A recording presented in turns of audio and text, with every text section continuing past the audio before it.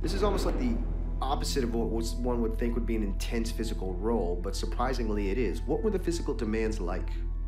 When when James offered me the part, I mean, when, or when we spoke on the phone, he's like, "So how would you go about how would you go about doing this? And I, I was desperately trying to get the part at the time. And I, I sort of made up some, some really faux confident. Well, this is how I'd go about it. Exactly.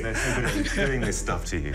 And I, I, had no idea, basically. But we decided collectively to to go to a sort of old school model of having a team of people. Like James is a, an amazing sort of. Um, he loves collaboration in the, the truest sense. And so I'd, I'd worked with in the physical sense, a, a, dancer, a choreographer called Alex Reynolds, and she and I had spent months going to, to motor neuron disease, ALS clinics, and, and really charting what, what the disease was. But she had also put me in touch with a very brilliant osteopath, um, because actually getting out of it when you're in those sorts of positions for long periods of time, actually, if you jump out of it, it does end up um, it can end up sort of mess, messing with you a wee bit. But I tell you what, every day, whatever sort of pain you were in leaving it, you got to leave it. You got to get out of the chair. And, and we all met so many people suffering from ALS, motor neuron disease, while we were making the film, and that just constantly stayed in our mind as a, a great freedom.